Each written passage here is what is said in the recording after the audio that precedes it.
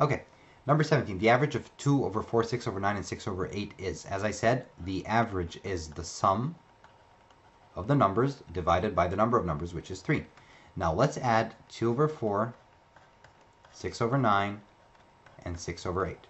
Now you can find the uh, LCM or LCD, okay, um, right away, or you can simplify first. So 2 over 4 is half, 6 over 9 divided by 3 will be 2 over 3, 6 over 8, if you divide by 2, 6 becomes 3 and 8 becomes 4. Now the LCD or the LCM for 2, 3, and 4 is 12. So we get 1 half is 6 over 12, 2 thirds is 8 over 12, right? Because I multiply by 4. And 3 fourths is 9 over 12. Is that right or wrong? Hurry up. Okay.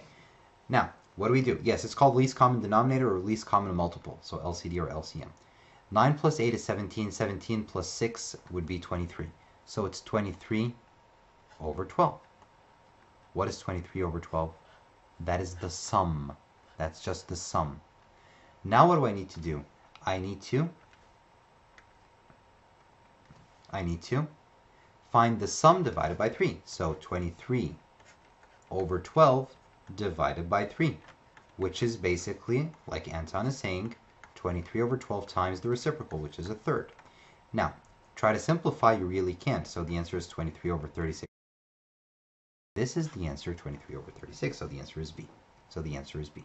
Okay?